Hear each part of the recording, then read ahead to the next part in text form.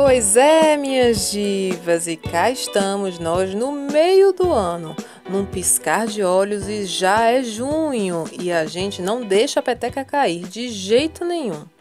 Vamos começar o mês com uma receita de tônico bem fácil, que para preparar nós iremos precisar de um punhado de folhas de hortelã miúdo e também de alguns pedacinhos de gengibre que eu irei bater no liquidificador com aproximadamente 100 ml de água.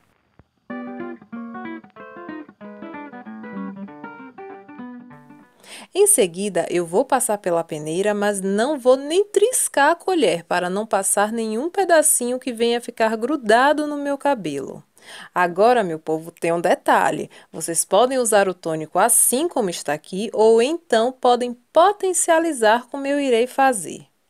Eu vou colocar aqui o meu queridinho óleo essencial de hortelã-pimenta e vou colocar 5 ou 6 gotinhas, que já é mais do que suficiente. Vocês também podem colocar uma tampinha do óleo de rícino, que fica perfeito. Agora é só colocar em um frasquinho, agitar bem, só que eu irei deixar ele aqui no cantinho, porque a receita não acabou por aqui. Eu vou aproveitar a companhia de vocês para preparar logo o meu pré-poo hidratante. E para esse pré-pu, eu vou usar a máscara de banana da Origem e vou colocar aqui a quantidade que seja suficiente para o meu cabelo. E em seguida, no olhômetro mesmo, eu acrescento umas 3 colheres de sopa do soro fisiológico. E agora sim é só misturar bem.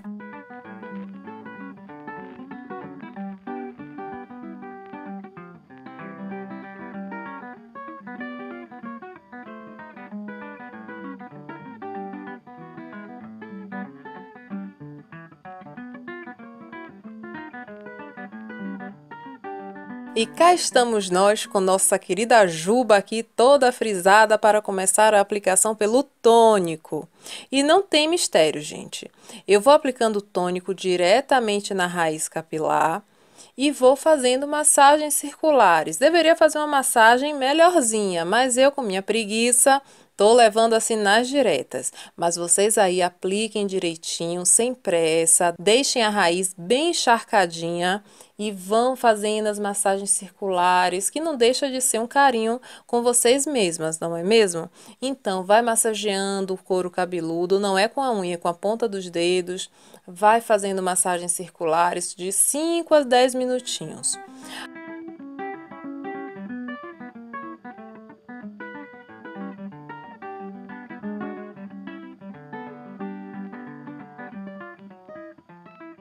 Passada essa etapa, eu não vou prender logo meu cabelo.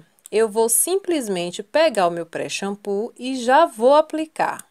E aí também não tem segredo, eu vou aplicando em mechas grosseiramente mesmo, vou encharcando bem o cabelo com esse pré-shampoo, caprichando principalmente nas pontas.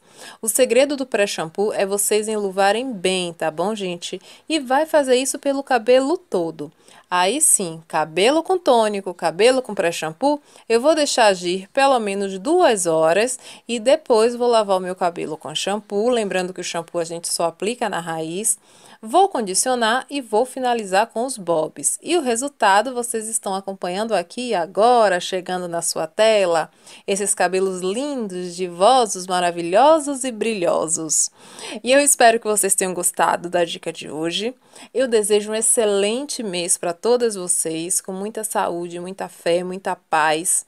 E eu espero vocês aonde? Lá no Instagram, arroba no Vale da Maria. Beijo, tchau!